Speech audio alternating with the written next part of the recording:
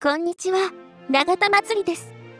今回も私の動画をご覧いただき、ありがとうございます。東京オリンピックが無事終了し、日本のクオリティの高さを世界中に発信されましたが、韓国が最悪の成績を記録し、日本の対応が悪かったせいだと言っています。それでは、ニュースを見ていきましょう。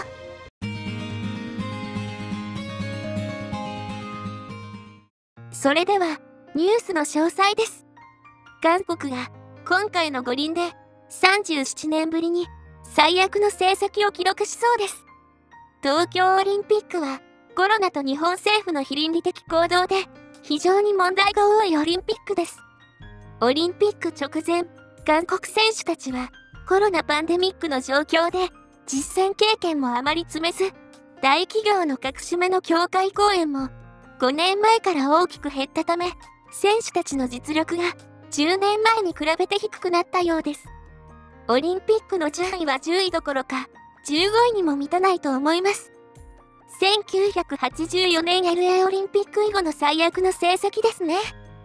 今回の五輪のきっかけで、大韓体育会は会長を辞任し、役員らの全面交代をめぐり、メンバー同士で激しく争うなど、しばらく騒がしくなるでしょう。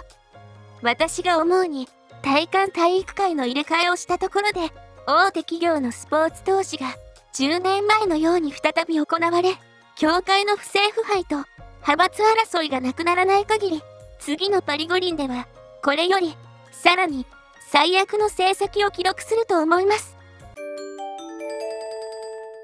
それでは、ネットの反応です。順位に何の意味がありますか？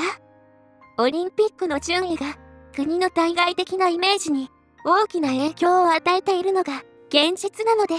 生活体育だった主要先進国もまたエリート体育に転換中です。私は正直に言って国の対外的地位の高さがわかりません。アメリカ、イギリス、フランスなど知らない人がいるのかと思う国だけど、何のための対外イメージなのか最後までご視聴いただき、ありがとうございました。コメントいただけるととても嬉しいです。皆様の応援で頑張れます。チャンネル登録、高評価お願いいたします。また、次回の動画も見てくださいね。